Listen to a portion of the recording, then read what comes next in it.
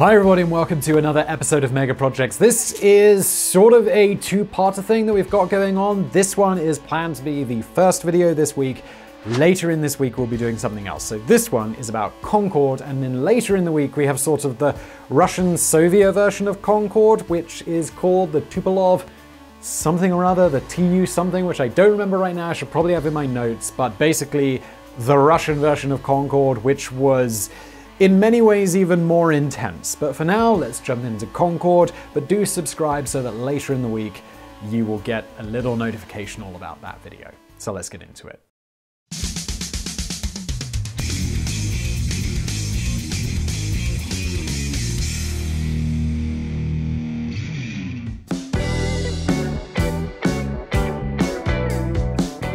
Fast, loud, and sexy. Just a few of the many words that have been used to describe this visionary aircraft that was first unveiled to the general public at the Paris Air Show in 1969. Quite simply unlike anything we'd ever seen before, it was a beacon of engineering ingenuity that shone brightly for only 30 years. An aircraft so ahead of its time, it was retired without a successor because, frankly, we're not even sure what comes next. And of course, we're talking about Concorde. Every now and again, humanity leaps forward. We've come to assume that technology progresses in this sort of linear fashion. We create something and then it's improved upon just a little bit over time. It's just all of these little incremental steps. But occasionally, we launch forward to such a point that it makes further progress difficult or even impossible. These projects are the outliers, the futuristic visions that are so far ahead that they sometimes struggle to find their place in our time. Certainly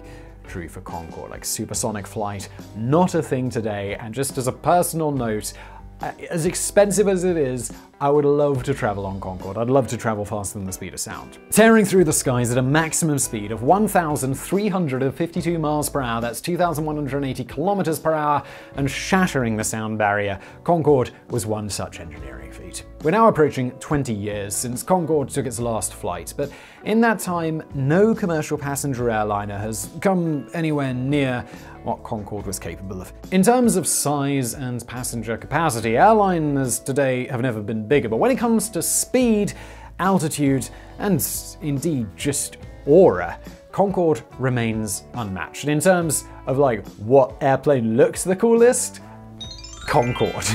But this was also a project that raised serious questions about environmental issues, affordability, and noise pollution. This was an extraordinary airplane that eventually, because of a combination of political and social situations, became a victim of its own pioneering vision.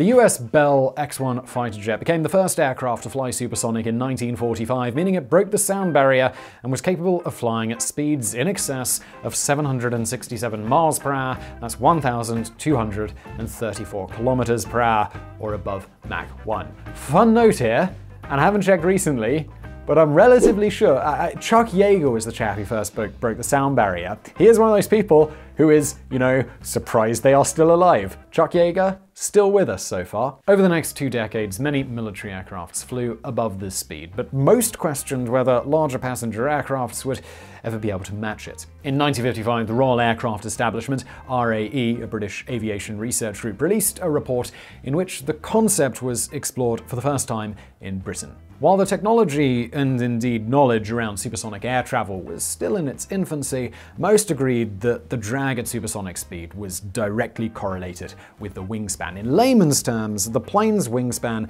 had to be very narrow to be aerodynamic enough to reach such speeds and remain stable. The Boeing 707, released in 1959, had a wingspan of 42.6 meters, that's 130 feet, which would be virtually impossible for supersonic travel, so the RAE suggested something closer to the planned Avro 730. This was a planned British reconnaissance aircraft with a wingspan of just under 18.2 meters or 60 feet. But such a narrow wingspan would result in very little lift at low speed, meaning it would need a huge runway for takeoff and landing would be at incredibly high speeds. And I've actually already read the uh, the script for the Russian Concorde video coming later this week, and definitely subscribe because there's interesting stuff about how fast that plane had to land and take off. Anyway, back to the video. Initial studies found the concept to be unfeasible, but shortly after this, the delta wing design appeared. These triangular shaped wings that we would eventually see on Concorde led to a breakthrough and paved the way towards supersonic commercial flights. In 1956, a new research group, Supersonic Transport Aircraft Committee, STAC, was formed in Britain, and by the end of the decade, it was clear that something important was emerging. Contact was made with both the American and French governments over a possible collaboration, but by the start of the 1960s, it was still anybody's guess where the first supersonic airliner would appear. Now, if you watched our video about the Channel Tunnel, which, while was planned to go before this one, is actually going to come after, so subscribe to get that.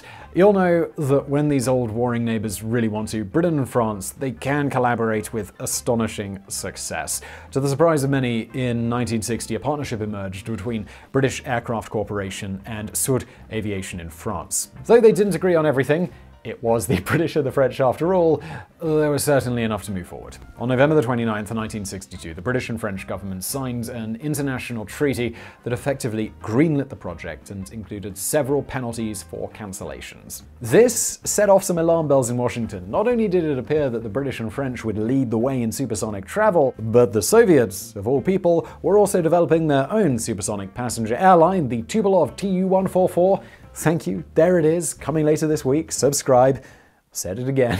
now, we're not going to go to that aircraft now because it has its own video, which we're going to do later, but the Americans were worried and they pushed forward with their own design, the Boeing 2707, which was eventually cancelled in 1971. Anyway, back to the Europeans. They really needed a name that exemplified the entire project and one that reflected the Anglo French partnership. The word chosen means agreement, harmony, and union in both French and English, but of course carries an extra E at the end in the French version. Prime Minister Harold Macmillan controversially dropped the final E, some say because of a perceived slight from Charles de Gaulle. However, at the press unveiling in 1967, Tony Benn, the Minister of Technology, announced that the government was restoring the To much nationalistic outrage fueled by the British press. Wow, who really cares? His eventual explanation was that the E stood for Excellence, England, Europe, and Entente Cordiale, which were a series of agreements reached in the 19th century between Britain and France. This all seemed to calm the rabble, and the E stood. Sounds a bit like an excuse, though, doesn't it? And that he uh, just ended up having it the French way, which is fine. Who cares? In 1965, construction began on the first two prototypes. Concorde 001 was constructed by Aerospatiale in Toulouse, with Concorde 002 being built by BAC in Bristol. But with the engineers working feverishly behind the scenes, the most pressing matter for the project was future sales. The vast amounts of money needed for the project meant that in order to be profitable, there would need to be plenty of buyers. In 1967, a marketing campaign began aimed at attracting airline companies from all over the world. Concorde bosses had made the bold prediction of 350 aircrafts worldwide by 1980, yet while it certainly garnered interest and a non-binding order of 62 planes from 16 companies, it remained well below what had been anticipated. More on that shortly, and of course this is Concorde. The whole story is very commercial, and we'll be getting into all of that as well. Lastly, as most of these kinds of projects tend to do, the cost spiraled well beyond what was originally calculated. This is a mega projects video. That does tend to happen. Original estimates placed the production costs at 70 million pounds in total, but eventually it cost an eye-watering 1.3 billion pounds that's more than £8 billion today. The final unit cost of a plane in 1977 was £23 million, which is £120 million in today's money.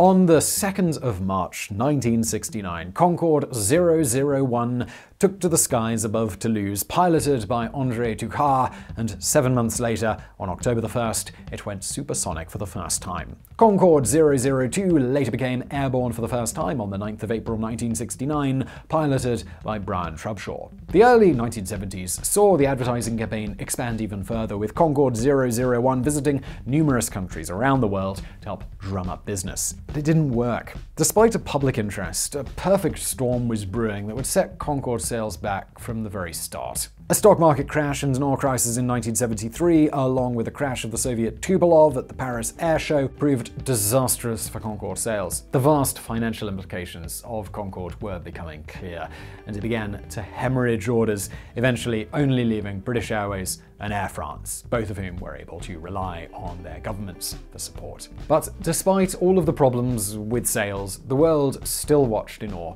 on the 21st of January 1976 as two full Concorde flights departed simultaneously on their maiden voyages. One from London Heathrow to Bahrain, and the other from Paris to Rio de Janeiro, with a stop in Senegal along the way.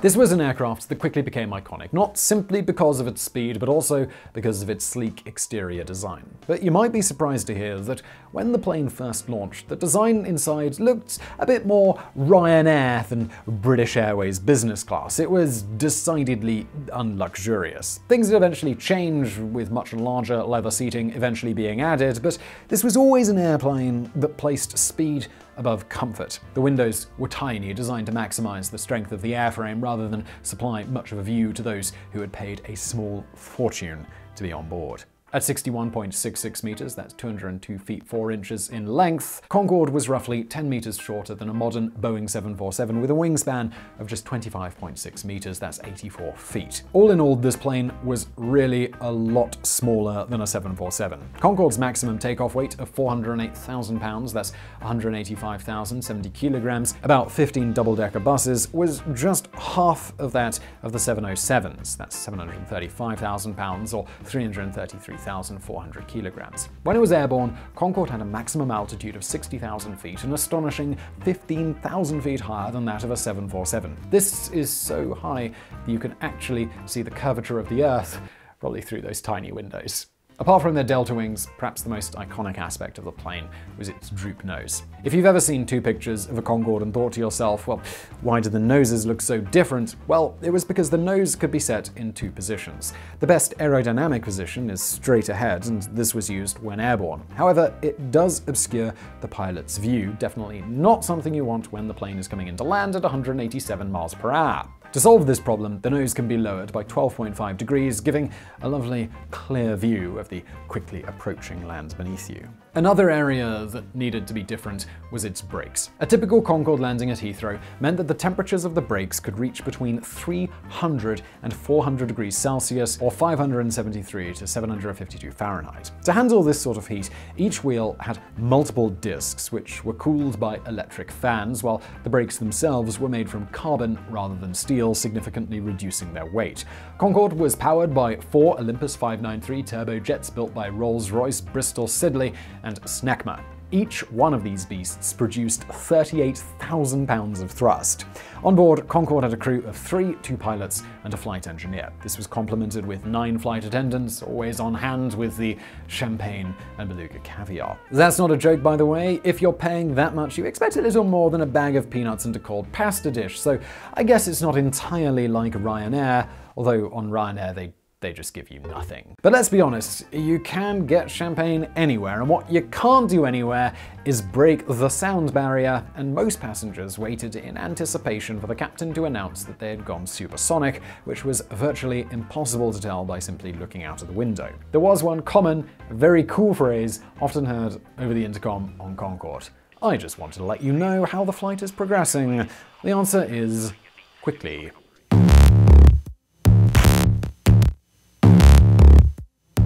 Almost from its inception, Concorde faced opposition. While many of the early objections related to safety, by the 1970s, most focused on noise and environmental problems. By far the biggest issue was the sonic boom created by Concorde. This is the noise generated by shockwaves when an object travels faster than the speed of sound. Extra little tidbit of information for you here. The cracking sound of a bullwhip, it's a mini little sonic boom. The volume of a sonic boom can seem to fluctuate quite a bit and sometimes cannot even be heard on the ground, but often it absolutely could. Concorde's 100 to 110 decibel sonic boom was said to mimic a small explosion. Now, that sounds hellish enough, especially when it's above your home, but that's actually only about the same number of decibels as a car horn, so it's not that bad. The US Congress banned Concorde from US airspace, preventing the lucrative transatlantic routes that had always been planned. Eventually, this was lifted, but individual cities still prohibited them, most notably New York City. This was despite a report showing that Air Force One, the US plane, was actually louder than the Concorde. In fact, the plane was much quieter than was generally perceived, especially with pilots throttling back their engines while flying over urban areas. It was as if people had built up the sound of the plane in their mind rather than being realistic about its actual noise. At the time of the US ban, it led some to question the US government's motives and whether it had more to do with protecting US prestige and aviation manufacturing rather than noise pollution just speculation. However, it wasn't just the US. Many countries around the world rejected the chance to be on Concorde routes or to allow it to fly through their airspace. The environmental impact that Concorde left was also keenly addressed by activists. With a full load, Concorde had a 15.8 passenger miles per gallon ratio, while the large Boeing 707 had a 33.3 PMG. It's a bit like looking at a Hummer today. It's definitely not the most environmentally friendly way to travel. In fact, Concorde could burn two tons of fuel by just taxiing along the runway. As our awareness of climate change grew, it just became harder to justify these fuel guzzling speed demons. But perhaps the most glaring issue was its tagline as an elitist form of transportation. In 1997, a return flight from London to New York would set you back around $7,995, which is $12,700 in 2019, roughly 30 times more expensive than the cheapest available airfare. This is simply not a service that every man and woman could afford. Many airlines themselves were now focusing on affordability rather than style and speed. It was all beginning to look like Concorde's days were numbered.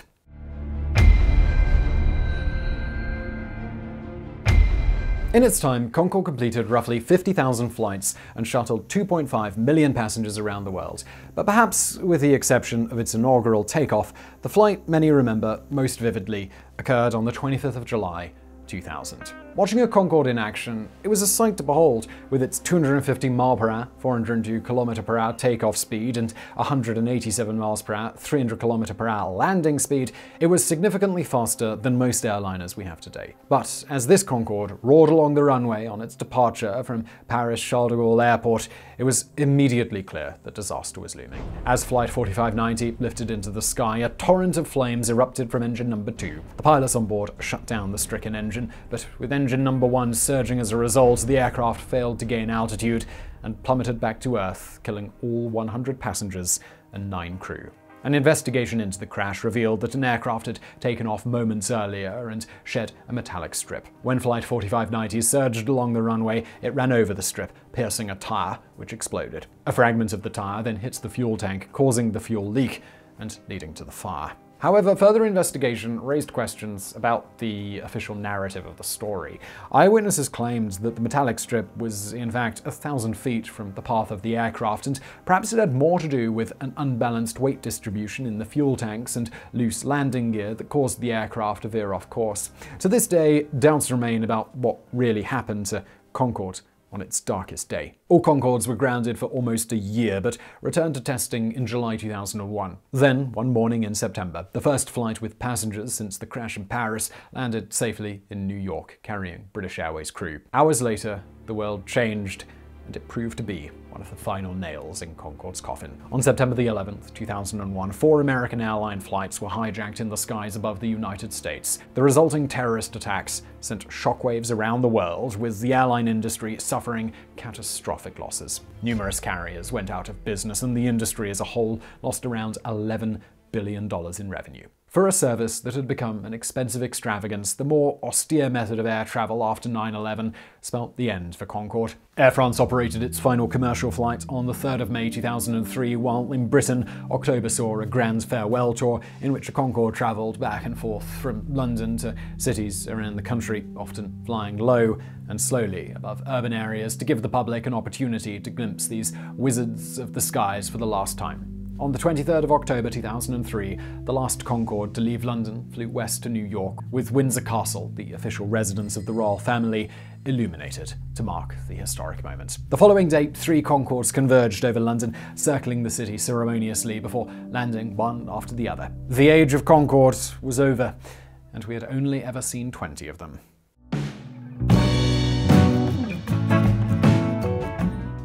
In 2015, Club Concorde, essentially a Concorde fan club, announced that it had secured £160 million to bring one Concorde back into service. Though the initial date for this, 2019, has come and gone with very little recent information about the venture. Many doubt the feasibility of refitting one of these planes and putting them in the sky once again. It may be a nice idea, but the practicalities do look pretty remote. While we may never see a Concorde in the skies again, there are small passenger planes on the horizon that will be able to break the speed of sound once again, some of which may be operational by 2023. However, it's likely even the biggest of these will only be about half the size of Concorde. If we want to really look to the future, then we need to talk about hypersonic flight. NASA is already trialing planes that can far exceed Concorde's Mach 2 with hopes that eventually we will have airplanes capable of traveling above Mach 5 or 3,000 miles per hour, 6,174 kilometers per hour, meaning a flight from San Francisco to Sydney could be completed in two hours rather than the 15 hours today. And if you'd like a video about hypersonic aircraft, could probably do something on that. I'm not sure if there's enough information to do one on a specific hypersonic aircraft, but if you have suggestions and ideas, let me know in the comments below. While hypersonic flight might seem like a distant dream today, remember that what was first conceived in the 1950s was also considered a futuristic absurdity by some. Concorde was an extraordinary achievement for many reasons, but if nothing else, gave us a fleeting glimpse of the future, a dream that came and went, unable to find its place in the present. We've already seen the future, and it happened 50 years ago. So, with that, I really hope you enjoyed this video. If you did, smash the like button. Do not forget to subscribe because later this week we have the Russian version of Concorde, which is a little bit different. So please do subscribe for that, turn on the notification bell so you find out about it. And as always, I'll see you then.